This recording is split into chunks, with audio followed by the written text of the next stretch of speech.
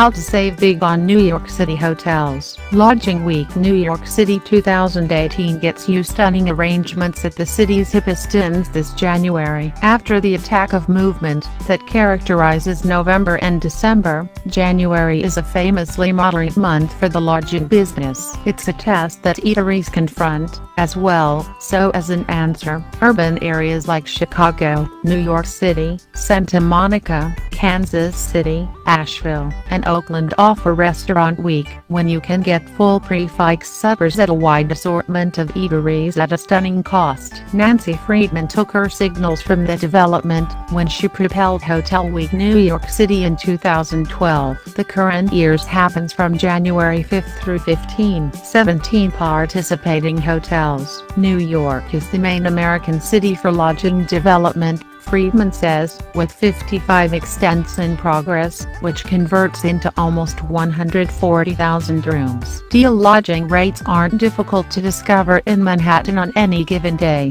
however Hotel Week offers some truly energizing takes for the most part in light of the fact that the vast majority of the 17 taking an interest inns are freely claimed boutique inns, the kind that accumulate consideration on account of their solitary plant center or extraordinary courtesies. Novel experiences 18 great prices. Truth be told, some portion of makes Hotel Week energizing, that it highlights inns that are encounters all by themselves. To wit, a night in the Library Hotel closed Grand Central Station, which highlights books of an alternate classification of the Dewey Decimal Framework on each of the 10 stories, is yours for a cool $200. Same goes for Hotel 50 Bowery, which gloats an energetic anteroom eatery with sustenance by top chef contender Dale Talde and a house-top bar with knockout perspectives, the Gansevoort in the meatpacking district, which includes a warm house-top pool. Yes, it's open in the wintertime, and an enthusiastic bar that is prominent among local people, the halfway found, ultra in vogue refinery.